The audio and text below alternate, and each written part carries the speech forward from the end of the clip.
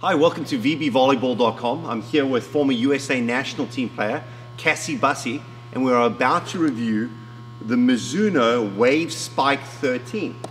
So let's try it.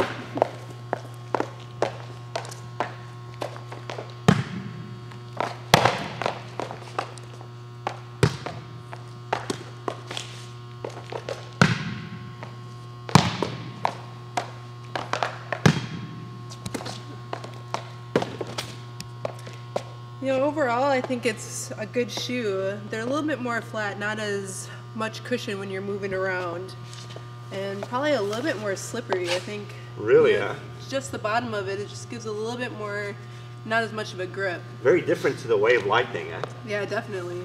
Okay, so overall weight, what do you? Weight, I think that's great. I think it's a good volleyball shoe weight-wise. Okay. Keeps it nice and light. Structure?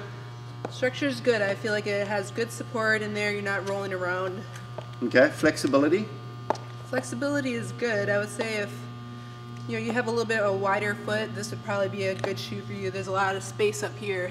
You're saying that you're you're you're kind of slotting a little bit in there. Yeah, the front end is a little bit wide, so you know I do have a little bit more narrow feet, but for other people that need like a little bit more space in there, it's definitely roomy. So it's different in that to the Wave. I think the Wave Lightning Five in that. Correct. It's a little the- tighter. Yep, exactly. Okay, good to know. Traction. Traction a little bit slippery, not as much of the paneling underneath to be able to give you that grip. Look. Uh, these particular ones I'm not a fan of, Not as much a fan. I agree. I prefer the Wave Lightning Five. for sure. Okay, overall. Um, overall, I'd probably give it a four. Okay, cool.